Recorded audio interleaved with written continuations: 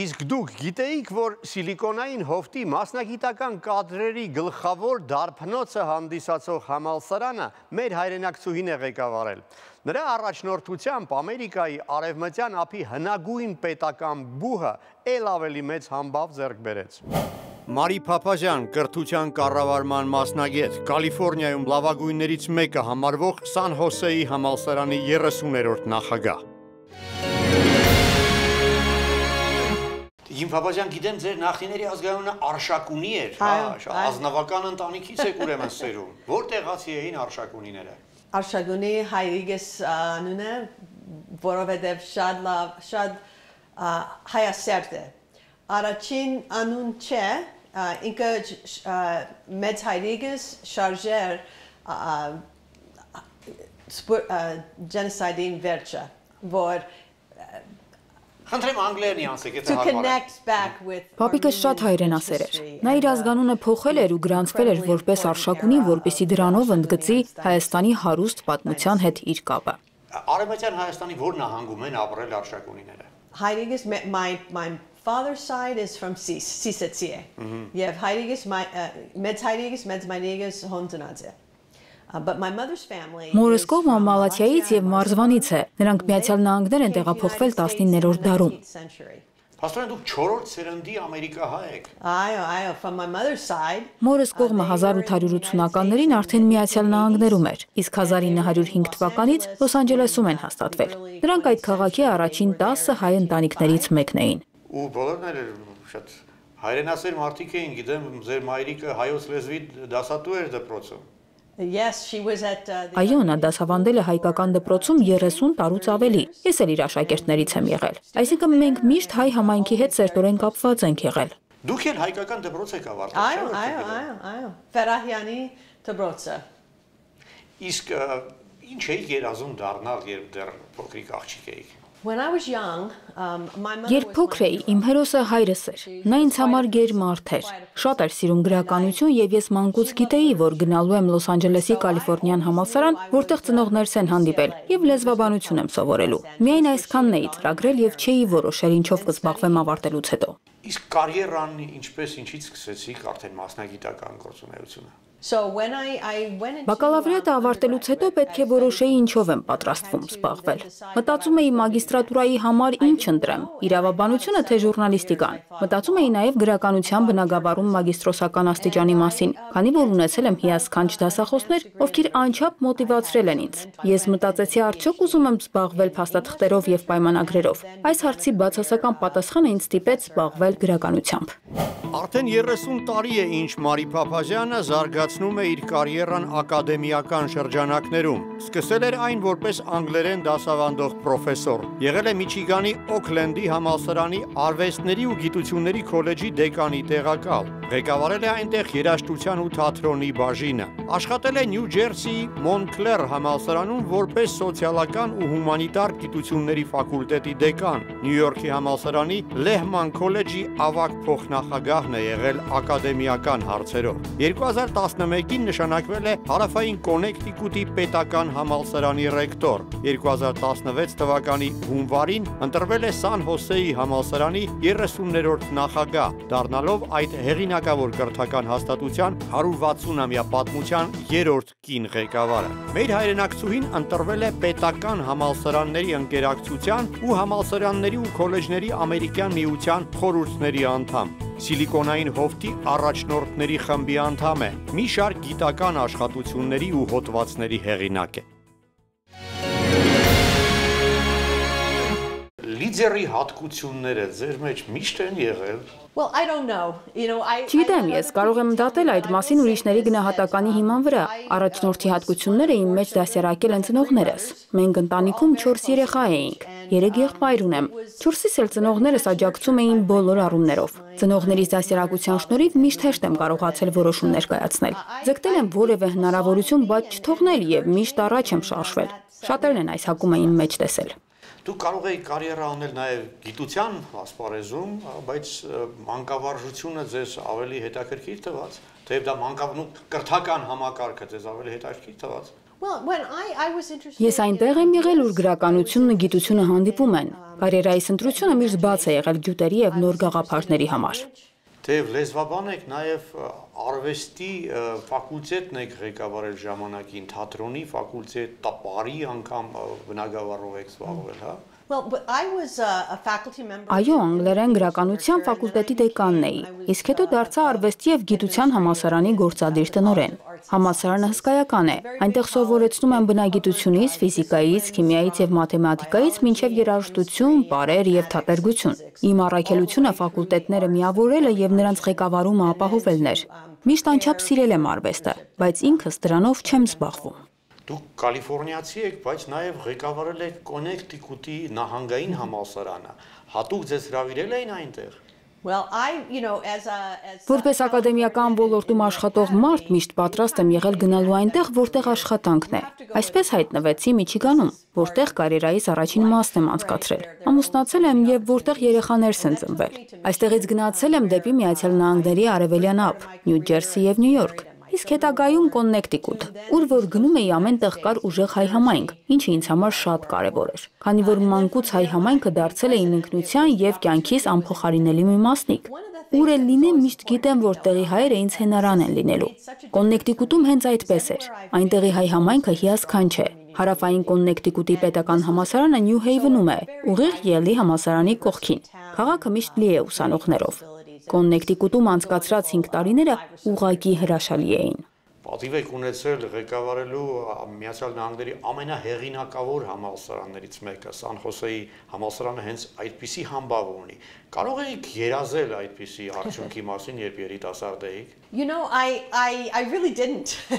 Իհարկե չէի կարող։ Յուրաքանչյուր պաշտոնում գլխավոր նպատակս միշտ եղել է դրական տարբերություն ապահովելը։ Ցանկությունս էր, որ բոլոր կառավարածս հաստատությունները մեկ քայլ առաջ գնային։ Պատիվ եմ ունեցել դա անելու տարբեր պաշտոններում այդ թվում Կոննեկտիկուտի համասարանում։ Երբ ինձ դիմեցին Սան Խոսեի համասարանի ղեկավարները եւ առաջարկեցին առաջնորդել իրենց թիմը, ես համաձայնեցի, քանի որ աշխատանքի մեջ ահրելի մեծ հնարավորություն էի տեսնում։ Շատերը չգիտեն այդ մասին։ Սան Խոսեն Միացյալ Նահանգների արևմտյան ափի ամենահին համասարանն է։ Համասարանը հին էր, ինչպես եւ այնտեղ ընդունված դասավանդման ավանդույթներն ու մեթոդները։ Անհրաժեշտ էր այնտեղի դասախոսներին սովորեցնել նոր մեթոդներ, որոնք կսազեին զարգացող Կալիֆոռնիային։ 1857 թվականին հիմնադրված Սան Հոսեի համալսարանը Ամերիկայի արևմտյան ափի հնագույն պետական կրթական հաստատությունն է։ Այժմ այն Սիլիկոնային հովթի հայ-թեքի բնագավառի մասնագետների գլխավոր մատակարարն է։ Համալսարանը համագործակցում է տեղեկատվական տեխնոլոգիաների ասպարեզի այդպիսի առաջատարների հետ, ինչպիսիք են Google-ը, Intel-ը, Apple-ը։ Սան Խոսեի 130 կրթական ծրագրերի մասնակից են ավելի քան 45000 ուսանողներ ու դասախոսներ։ Բուհը մի շարք մասնագիտությունների ուղղությամբ առաջատար է համարվում ողջ Ամերիկայում։ Նախագահի պաշտոնում Մարի Փափազյանի եղած տարիներին համալսարանը ակտիվ զարգացել է։ Մեր հայրենակցուհու ջանքերի շնորհիվ ուսումնական մի քանի նոր մասնաշենք է կառուցվել։ Փափազյանը ընդլայնել է համալսարանի գործնական հարաբերությունները IBM, Adobe, PayPal ու IT ոլորտի մյուս հսկաների հետ։ Նրա հետևողական աշխատանքի արդյունքում Սան Հոսեի համալսարանը գործնական կապեր է հաստատել Հայաստանի ամերիկյան համալսարանի, Երևանի ճարտարագիտական ու մանկավարժական համալսարանների հետ։ Սան Հոսեի համալսարանի նախագահի պաշտոնում դուք ակտիվորեն աշխատում եք հայաստանյան կրթական հաստատությունների հետ կապեր ստեղծելու ուղղությամբ եւ բավական արդյունավետ կապեր են կարծես հա ձևավորել այդ թվում նաեւ ձեր ջանքերի շնորհիվ Նախագահական երկու պաշտոններիս ընթացքում էլ մտածել եմ այն մասին, թե ինչ կարելի է անել Հայաստանի կրթական հաստատությունների հետ համագործակցությունը զարգացնելու եւ դրա շնորհիվ Հայաստանի զարգացմանը նպաստելու համար։ Կրթությանը նպաստելը երկրին օգնելու լավագույն ձևերից է։ Ես դրանում վստահ եմ։ Մենք ուզում էինք, որ հայաստանցի ուսանողները փոխանակման ծրագրերի շնորհիվ կարողանան աշխարհը տեսնել։ Երբ Կոնեկտիկուտում էի աշխատում, եկել էի Երևան, Հայաստանի բժշկական ասոցիացիայի հանդիպմանը մասնակցելու համար։ Ինձ խնդրել էին, որ բուժքույրական կրթությունից խոսեմ։ Դա 2015 թվականն էր։ Դրանից հետո Ամերիկայից բուժքույրության ֆակուլտետի մասնագետներին Երևան ուղարկեցի, որ օգնեն Հայաստանի մասնագետներին։ Դրանք մինչ օրս էլ համագործակցում են Հայաստանի ամերիկյան համասարանի հետ։ Այդ համագործակցության արդյունքը եղավ այն, որ Հայաստանի ամերիկյան համասարանում բացվեց բուժքույրության բակալավրիատ։ Երբ Սան Հոսեի համալսարանի նախագահը դարձա, կրկին մեկնեցի Երևան։ Այս անգամ իմ ուշադրության կենտրոնում արդեն նորագույն տեխնոլոգիաներն էին, քանի որ Սան Հոսեի համալսարանը լավագույններից մեկն է հենց այս բնագավառում։ Հայաստան առաջին այցս խորհրդային միության ժամանակ էր 1974 թվականին, այսինքն տարիներ շարունակ Հայաստան եմ գալիս եւ նկատում թե ինչպես է փոխվում նախնիներիս երկիրը։ Ես դեռ 40 տարի առաջ գիտեի, որ Հայաստանը համակարգչային տեխնոլոգիաների գիտատար ծրագրեր զարգացնելու ներուժ ունի։ Հայաստանի անկախանալուց հետո այդ խնդիրը ավելի ակտուալ դարձավ։ Սիլիկոնյան հովտում հայթեքի ասպարեզում իրենց փայլուն դրսևորած օտարերկրացիների թվում քիչ չեն նաեւ հայաստանցի հայերը։ Այսինքն Հայաստանի հետ համագործակցելը եւ նոր հնարավորություններ փնտրելը բնական էր թվում։ Մենք կարևորում ենք առաջատար տեխնոլոգիական ընկերությունների հետ համագործակցությունը։ Հայաստանն էլ արդյունքում ավելացավ այն երկրների ցանկին, որոնց հետ աշխատում է մեր համալսարանը։ Տիկին Պապազյան, ձեզնից առաջ եւս մի քանի հայեր պատիվ են ունեցել ամերիկյան հեղինակավոր բուհերի նախագահներ ընտրվելու։ Հիմա ձեզնից բացի կան ուրիշ հայրենակիցներ, ովքեր նույնպես ղեկավարում են ամերիկյան համալսարաններ։ Uh, Իհարկե մենք ունենք եւ ունեցել ենք հիանալի հայ ղեկավարներ, օրինակ Գրեգորի Ադամյանը, Վարդան Գրեգորյանը, երկուսն էլ հրաշալի առաջնորդներ էին եւ հիանալի հայեր։ Նրանք ողջ աշխարհին ցույց էին տալիս թե ովքեր են իրականում հայերը։ Ամուսինս Դենիս Փափազյանը երկար տարիներ հայ համայնքի առաջնորդն է եղել եւ երկուսի հետ էլ աշխատել է։ Գրեգորի Ադամյանն ու Վարդան Գրեգորյանը ինձ համար օրինակ են ծառայել։ Ես իրենցից շատ բան եմ սովորել։ Ամերիկյան համասարանների ղեկավար մարմիններում աշխատող ու մեծ ձեռքբերումների հասած շատ հայեր կան։ Վստահ եմ նրանք հետագայում ավելի բարձր պաշտոններ կզբաղեցնեն։ Կարծում եմ հայերը ունեն հերանեկարներ։ Հուսով եմ ավելի շատ հայեր կշարունակեն իմ հետքերով։ Մերի Փափազյանը ամերիկյան համալսարան ղեկավարած առաջին հայ կինն է բայց նրանից առաջ էլ մեր հայրենակիցներից շատերը մեծ հաջողությունների են հասել բարձրագույն կրթության կառավարման բնագավառում։ Դոկտոր Գրեգորի Ադամյանը 21 տարի շարունակ եղել է Մասաչուսեթս նահանգի Բենթլի համալսարանի նախագահ։ Նրա ղեկավարության շրջանում բուհի հեղինակությունը աննախադեպ աճ է արձանագրել։ Նրա օրոք 27 նոր մասնաշենք է կառուցվել՝ կամպուսներ, հանրակացարաններ, սպորտ դահլիճներ։ Վարդան Գրեգորյանը կարիերան սկսել էր Փենսիլվանիայի համալսարանում, ուր մի քանի ֆակուլտետ է հիմնադրել։ Այնտեղ ի վերջո փոխնախագահ էր ընտրվել։ 1997-ին Գրեգորյանը դարձել էր Rhode Island նահանգի Brown համալսարանի նախագահ։ Նրա ջանքերի շնորհիվ համալսարանը դասվել էր ԱՄՆ լավագույն բուհերի ցանկին, իսկ նպատակային կապիտալը հասել էր 1 միլիարդ դոլարի։ Սրտաբան Արամ Չոբանյանը հայտնի է ոչ միայն որպես բժիշկ, նա Բոստոնի համալսարանի 9-րդ նախագահն է եղել։ Դոկտոր Չոբանյանը Հայաստանի Գիտությունների ազգային ակադեմիայի արտասահմանյան անդամ է։ Նրա անունն է կրում Բոստոնի համալսարանի բժշկության դպրոցը։ Ռոբերտ Մեհրաբյանը Թեհրանում է ծնվել, բայց ողջ իր ակադեմիական կարիերան Ամերիկայում է զարգացրել։ Անցած դարի 90-ականներին ղեկավարել է Փենսիլվանիա նահանգի Կարնեգի Մելոն համալսարանը։ Մեհրաբյանին ամենահեղինակավոր տնտեսագետների ցանկին են դասում։ Տիկին Փափազյան 4-րդ սերնդի ամերիկահայ եք, սովորաբար 4-րդ սերնդի ամերիկահայերը արդեն վաղուց զուլված են լինում, վաղուց կորցնում են կապը իրենց պատմական հայրենիքի հետ։ Ձեր ընտանիքային փայլուն օրինակն է, որը ապացուցում է, որ հնարավոր է անգամ 100 տարուց ավել ապրել Ամերիկայում, հա, ընտանիքին, բայց պահպանել կապը հայրենիքի հետ։ It's a it's a good question. Thank you for that. I I um Շատ լավ հարց է, շնորհակալություն։ Սփյուռքն ու Հայաստանը ունեն միմյանց կարիքը տարբեր պատճառներով։ Համաձայն եմ ձեզ հետ։ Սփյուռքի անհետանալու վտանգը մեծ կլինի, եթե չլինեն այն պահող մարդիկ։ Պատմության մեջ այդպես եղել է։ Օրինակ Լեհաստանի հայկական համայնքը, որ մի քանի հարյուրամյակ առաջ շատ ակտիվ է եղել, այժմ կարելի է ասել գոյություն չունի։ Նույն իրավիճակը Հնդկաստանում է, Կալկաթայում։ Այդ ամենի մասին որպես հիշողություն մնում են միայն եկեղեցիները։ Մենք պետք է անենք այնպես, որ Ամերիկայի հայ համայնքը ոչ մի դեպքում չարժանանա Լեհաստանի կամ Հնդկաստանի հայ համայնքի ճակատագրին։ Ես ու իմ ընտանիքը դրա համար ջանք չենք խնայում։ Հայրենիքի հետ կապը պահպանելու հարցում ինձ շատ են օգնել ծնողներս։ Մորս կողմից շատերը հայ համայնքում մեծ դեր են ունեցել, բայց շատերն էլ ձուլվել են այլ ազգերի հետ, քանի որ ինչ-ինչ պատճառներով չեն պահպանել կապը։ Հայրս Հունաստանից է։ Սերում է մի ընտանիքից, որը միշտ պահպանել է իր ինքնությունը։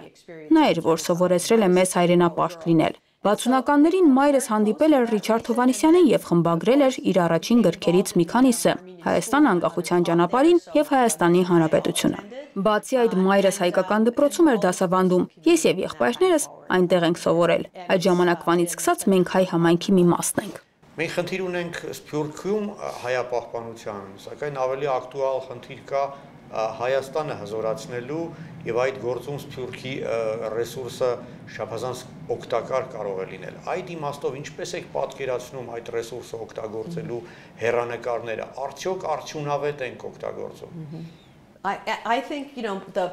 Անկախացումից հետո մենք անընդհատ փորձում ենք կարգավորել հարաբերությունները Հայաստանի եւ Սփյուռքի միջև։ Միացյալ Նահանգների Սփյուռքը տարբերվում է Եվրոպայի Սփյուռքից, կամ օրինակ Լատինական Ամերիկայի եւ Միջին Արևելքի երկրների Սփյուռքից։ Կարևոր է հասկանալ, որ մենք տարբեր ձևերով ենք արտահայտում մեր ինքնությունը։ Չնայած դրան մենք բոլորս ունենք ընդհանուր հիմնական արժեքներ։ Այդ արժեքները ընդհանուր են բոլորիս համար նաև այն պատճառով, որ բոլորս էլ փորձում ենք անել այնպես, որ հայ ազգի 3000 տարվա պատմությունը շարունակություն ունենա։ Մենք ուզում ենք համոզված լինել, որ մեր այս գաղափարը կփոխանցվի հաջորդող սերունդներին։ Իմ դուստրերը Կալիֆոռնիայում ծնված ամերիկահայերի 5-րդ սերնդի ներկայացուցիչներ են, բայց նրանք երկուսն էլ շատ կապված են Հայաստանի հետ։ Երկուսն էլ բացի արևելյան Հայաստանից եղել են նաև արևմտյան Հայաստանում։ Ես եմ նրանց այնտեղ տարել մեր արմատների հետ կապը ամրապնդելու համար։ Կարծում եմ Սփյուռքը կվերանա առանց Հայաստանի, ու Հայաստանի Հանրապետությունն էլ ուժեղ չի լինի առանց Սփյուռքի։ Մենք պետք է ընդունենք, որ ունենք փոխադարձ հետաքրքրություն եւ կախված ենք իրարից։ Մեր հարաբերությունները պետք է հիմնված լինեն համագործակցության եւ հարգանքի վրա։ Ինֆորմացիան դուք կրթական ոլորտի ներկայացուցիչ եք Հայաստանը խորհրդային տարիներին կրթական ամենաբարձր ցենզներ ապահովել երկրում։ Հիմա խնդիրներ խնդիրներ կան այդ իմաստով իհարկե ինչպեսին եք պատկերացնում վաղը Հայաստանի երիտասարդների հա վիճակը հաշվի առնելով, որ կրթական խնդիրները այնուամենայնիվ ունենք։ Ես խորապես հավատում եմ, որ լավ կրթությունից է սերում ուժեղ հասարակությունը։ Կարևոր է զարգացնել գիտության եւ տեխնոլոգիաների ոլորտը, բայց պետք չէ մոռանալ նաեւ քաղաքացիական հաստատությունը զարգացնելու անհրաժեշտության մասին։ Կրթության համակարգը դրա կազմակերպման ձևերը փոխվում են ամբողջ աշխարհում։ Դա անխուսափելի է, քանի որ հասարակությունը անցում է կատարել արդյունաբերական տնտեսությունից թվային տնտեսության։ Մենք Ամերիկայում քիչ թե շատ հասցրել ենք հարմարեցնել մեր կրթական համակարգը նոր ժամանակների պահանջներին։ Հայաստանը այդ հարցում առայժմ ավելի շատ անելիքներ ունի։ Մեթոդները, որ կան Հայաստանում, արդյունավետ էին 20-րդ դարի համար, բայց մենք այլևս 20-րդ դարում չենք։ Նոր սերունդը ապրում է թվային աշխարհում։ Թվային իրականությունը պետք է մուտք գործի նաև կրթության համակարգ։ Երիտասարդները սիրում են թվային խաղերի շնորհիվ տարբեր խնդիրների լուծումներ գտնել։ Ուրեմն մենք ուսուցիչներս պետք է դա հաշվի առնենք։ Միացյալ Նահանգները Հայաստանի հետ կիսվելու շատ բան ունի ու պատրաստ է կիսվել։ Մենք կարող ենք եւ պետք է աշխատենք միասին արդյունավետ կրթական համակարգ գտնելու եւ զարգացնելու համար։ Վստահ եմ, որ ստացվելու է։ Ինֆաբաժան կրթությունը զարգացնելու գործում կարևոր է առաջնորդների դերը։ Դուք հենց այդպիսի առաջնորդներից մեկն եք եւ այդ իմաստով եւս ձեր հետ հույսեր են կապում։ Դե իսկ այն, որ ձեր փորձը ողջևորում է հազարավոր հայերի, դա ակնհայտ է։ Շնորհակալ եմ, շարունակեք առաջնորդել եւ ողջևորել։ Շնորհակալություն։ Շնորհակալ եմ։ Փապազյան, մի